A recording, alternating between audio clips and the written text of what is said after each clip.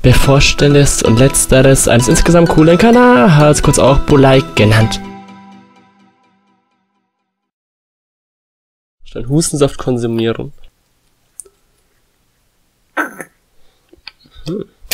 Kurz online Part von Bulaik und bevor ich jetzt mal anfange mit, äh, mit dem Zocken in Sachen Euro Simulator, bin ich jetzt noch mal kurz hier, weil ich folgendes abchecken möchte. Und so, warte jetzt mal rüber. Ähm, ja, die Projektwünsche wollte ich euch noch sagen, wie das abläuft, weil ich sie oft vergessen habe. Und am 31.05., also schon vor zwei Monaten quasi, war äh, der End, die Ende, Ende Abstimmung und ihr habt abgestimmt. Und zwar erster Platz GTA 5 mit 8 Votes, dann Stardew Valley mit 6 Votes, Undertale mit 6 Votes, Terraria mit 5 Votes, Star Stable Online mit 2 Votes, The Forest mit 2 Votes, GTA San Andreas mit einem, Tales of Escape, Head Wars und War Thunder und Wildcraft Dog Simulator, Cat Simulator je mit einem Vote. Okay, also das heißt, der nächste Community Stream wird wahrscheinlich GTA 5 werden, vor den anderen eben. Und dann schauen wir mal weiter. Und ja, das wollte ich mal sagen bisher. Und nun spielen wir das gute Game Dog Simulator. So, wir laden das Spiel. Und jetzt ist mein Tablet ausgefallen, das ist natürlich wieder geil. Ich habe einiges zu sagen. Tatsächlich wieder recht viel Neues. Ich weiß, längere Zeit war ich ja weg. Und entschuldigt mein Aussehen bitte, ich bin einfach sehr unter Hitze, kann man das sagen. Auf jeden Fall ist mir sehr heiß, wie man vielleicht sehen kann. Und ja, wir werden sehen. Gut, wir fangen einfach an mit den Videos der letzten Woche, beziehungsweise mit der Umfrage der letzten Woche. Und da muss ich noch kurz was vorbereiten, weil ich kacke bin. So, ich bleibe jetzt einfach kurz hier und zeige es euch hier, weil, ja, ich das sonst einblenden müsste und jetzt bin ich eh schon, ich habe das Spiel eh noch nicht richtig gestartet. Und zwar habe hab ich euch gefragt, was, was ihr zu meiner Auszeit sagt und ja, da Leute haben gesagt, das ist nicht schlimm. Ein, äh, zwei Personen fanden es ultra schade, aber in Ordnung. Und eine Person wird vor Langeweile gekillt. Und nein, ich hoffe, die lebt jetzt noch. Also wenn die Person noch da ist, dann bitte sag mir Bescheid. Das wäre nämlich sehr tragisch, wenn da irgendwas vorgefallen sein sollte oder so. Wir fahren los und wir checken die Videos der letzten Zeit ab. Und zwar hat euch da Top 5 bzw. Top 4 mit einem Stream, weil ich nur vier Videos hatte und ein Stream seit dem letzten Mal. Und zwar auf Platz 5 ist die Wrestling Tierlist, die ist ja relativ neu, die kam ja vor kurzem erst raus. Und die hatte 28 Views und 15 Likes. Ist ein ziemlich lustiges Video, weil ich ja mich überhaupt nicht auskenne mit äh, in Sachen äh, ähm, Wrestling. Und ja, ist relativ lustig geworden, finde ich. Platz 4 ist die Tierlist von Rupti, also von Corrupted. Da habe ich zu seinen, äh, zu seinem Horrorspielen, seinen besten, also Lieblingshorrorspielen quasi, so, hat er eine, so eine Liste mit 100 Horrorspielen gemacht. Und da habe ich die auch mal gemacht, für mich, aber ich kann die wenigsten Horrorspiele. Beziehungsweise habe sie, ich kann die meisten schon, aber ich habe halt die wenigsten gespielt, so rum. Und so ist das, da dieses Video hat 31 Views und ja, 6 zu 0 Likes, also ein bisschen besser, aber diese Tierliste-Videos sind eigentlich gar nicht so stark, also von den Klickzahlen her. Aber na, mal schauen. Dann äh, die dritte, äh, die Tr Platz 3 ist der Comeback-Stream von mir, wo ich eben sage, hey, ich bin wieder da, voll fresh und so. Und ja, ist eigentlich ganz nice.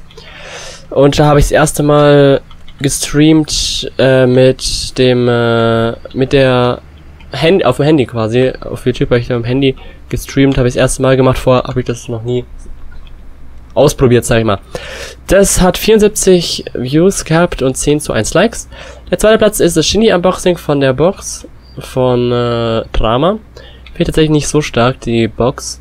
Mir hat auch ein bisschen die Instrumentals gefehlt und so weiter und der Boxen halt war jetzt echt nicht so stark. Naja. Der hat, äh, ein, hat nur 41 Views, aber dafür 10 zu 0 Likes, also ein bisschen besser von den Likes her.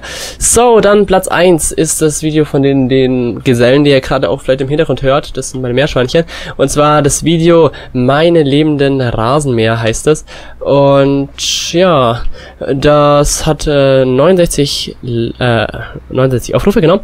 Und boah, was tut denn der hier vorne? Und 14 nur Likes, also relativ viele Likes und ich habe gemerkt, dass euch solche Videos taugen. Ziemlich nice auf jeden Fall. So, dann weitere Uploads gab's nicht. Wir gehen weiter zu Privates, Digga. Da haben wir sehr viel. Einerseits habe ich einen Manga gelesen, den ich sehr, sehr gut finde. Ich überlege mir dazu ein Video zu machen.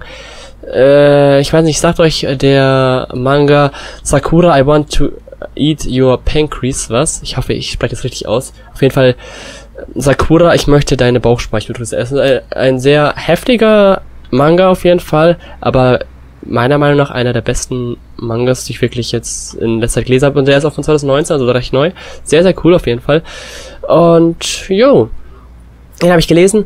Dann habe ich mit meiner Freundin getroffen, meiner Managerin, wie auch immer. Dann äh, habe ich mit, äh, das war Splash, genau, Splash war, äh, vorletztes Wochenende. Alter, dieser Typ regt mich auf. Wir müssen eh gleich links abbiegen, also alles entspannt. Ähm, ja, der Raum Splash war sehr, sehr geil. Das Video wird wahrscheinlich schon online sein. Wenn nicht, dann wird es noch online kommen. Auf jeden Fall ein sehr, sehr nices Video und auch voll die... Oh, jetzt kommt einer entgegen. Was soll denn das jetzt? Ja gut, dann weiche ich ein bisschen aus. Ja, ein sehr cooles Video und es war auch ultra geil auf dem Splash. Also, ja, auf jeden Fall war ein tolles Erlebnis. Und alle Infos hier dann in dem Splash-Video, was auch jeden Fall, auf jeden Fall auch verlinkt ist in der Videobeschreibung. Genau. Dann, äh, was auch noch war, dass ich mit der letzten Zeit viel mit Kumpels gemacht habe, auch mit Family viel, war echt sehr, sehr nice. Gut, dann hatte ich vor, neuen Prüfungen zu schreiben, habe ich leider nicht geschafft, weil ich in einer, in der Woche, in der ich ganz viele Prüfungen hatte, sehr erkältet wurde, also sehr erkältet worden bin. Ich bin auf jeden Fall erkältet gewesen. Ich, mir geht es inzwischen ein bisschen besser, habe sehr noch sehr starken Husten noch und auch meine Nase läuft äh, so ein bisschen, macht ein bisschen einen auf Forrest Gump äh, und läuft äh, sonst so hin, aber egal. Äh, ja, gut. Und deswegen konnte ich tatsächlich nicht alle Prüfungen schreiben. Ich konnte leider nur von diesen neuen Leistungsnachweisen fünf erbringen. Einen habe ich bestanden und zwar ist es der das Programmierprojekt, wo wir Tic-Tac-Toe programmieren mussten. Das haben wir bestanden, was ziemlich cool war. Und sonst... Ups, da muss ich mal ein bisschen so machen. Und sonst weiß ich die Noten alle noch nicht, aber ja, ich weiß auch nicht, inwiefern ich sie euch sagen werde. Kommt drauf an, wie sie ausfallen, so ungefähr. Nee, werden wir sehen dann. Genau. Dann äh, habe ich da eben viele geschrieben und war jetzt den ganzen, den ganzen, äh, ja, die ganze Zeit quasi beschäftigt mit so Zeugs. Wie, äh, ja, Prüfungen und so, Uni und so. Aber nächste Woche tatsächlich muss ich auch jeden Tag nochmal in die Uni, aber denke am Abend werde ich einmal, das ein oder andere Mal dann auch streamen können, wird sicher cool. Was ich gesehen habe auch, ist, warte, wo fahren wir denn hin? Was bringt denn am meisten? Die bringen ja alle kaum was. Ich muss mir mal diese Lizenz erwerben. Ich habe 11.000 Euro. Ich habe aber tatsächlich, warte mal, einfach nur München. Äh, nach München gibt's preistechnisch 4.000 was. Okay, 4.000 und das andere ist 3000, dann machen wir das hier einfach mal. Ich will es eh mal expandieren in andere Länder. Wie viel kostet denn das eigentlich gerade, das Expandieren? Äh, wie geht denn das Wirtschaft? Geht das hier? Ja, hier geht das. Nach Österreich. Äh, wie viel kostet denn das, so ein Expandieren? Wie viel kostet das? Ja, wo steht denn das, wie viel das kostet? Ah, 32.000, okay. 30.000, okay, die sind alle recht teuer. Naja, gut. Dann kümmern wir uns jetzt erstmal um Ah, was kann man hier denn machen? Ah, egal. Ähm, jetzt, wo wollte ich jetzt hin? Ich wollte hier raus. Ich wollte die Karte anmachen, so. Und dann, äh, äh, hier drauf bleiben. Oh, nochmal auf dieses Teil fahren. Aber ich könnte jetzt noch zum anderen schauen. Vielleicht ist da was Besseres. Dann fahren wir erstmal zum anderen rüber, würde ich sagen. Gut, weiter geht's. Ich habe Pokémon Film 8 gesehen. Das war Lucario und das Geheimnis von Mew. Ein sehr chilliger Film. Also ich fand den echt nicht schlecht. Ich fand den Dreier, so mit den Incognito, ein bisschen besser und spannender.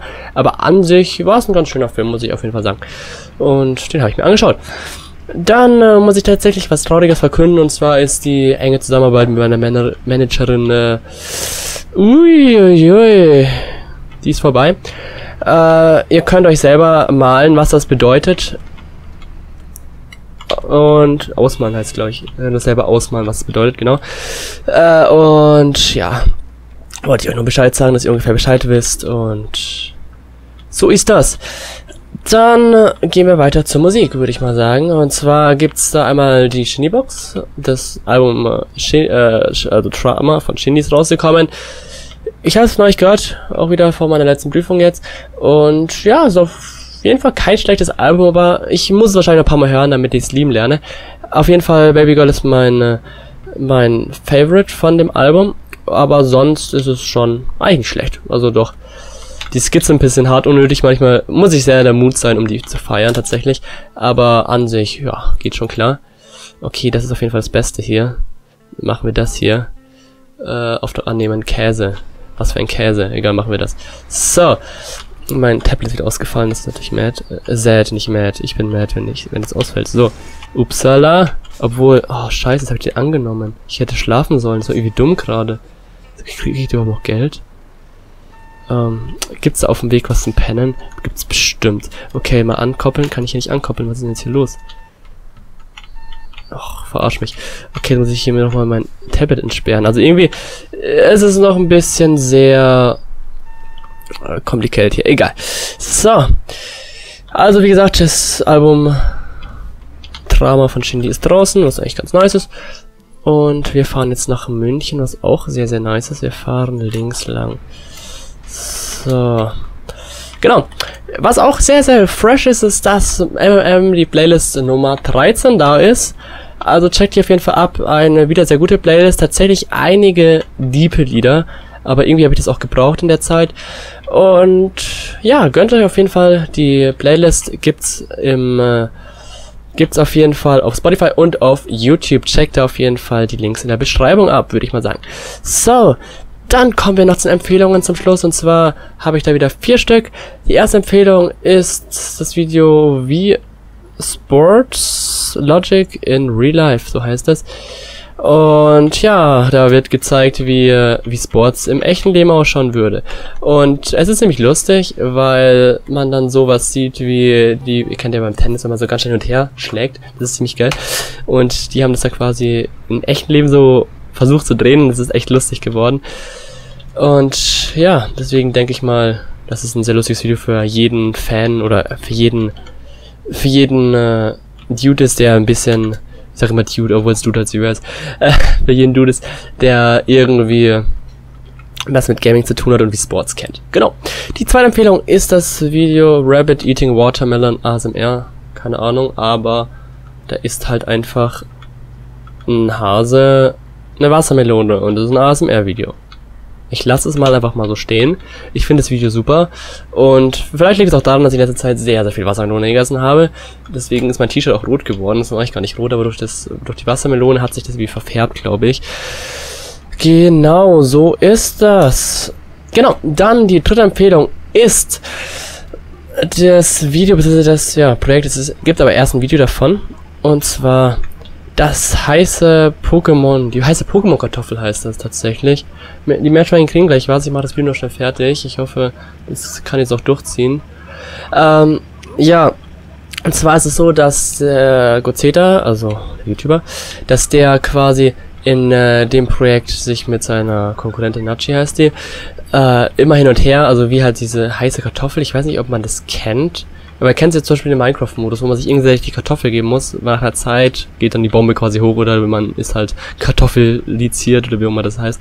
Äh, auf jeden Fall müssen die ganz schnell irgendwie Sachen nennen, zum Beispiel Pokémon aus der zweiten Gen, die zwei Beine haben, was ich was. Und die müssen immer abwechselnd dann sagen, bis die Zeit abläuft oder einer nichts mehr weiß und dann hat der eine halt einen Punkt bekommen und so weiter. Das ist eigentlich ziemlich nice Idee und ich feiere auch diese ganzen Pokémon-Spielchen von Gozeta, die finde ich echt immer sehr unterhaltsam.